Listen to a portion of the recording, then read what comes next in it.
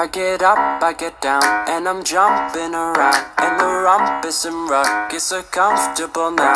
Been a hell of a ride, but I'm thinking it's time to grow.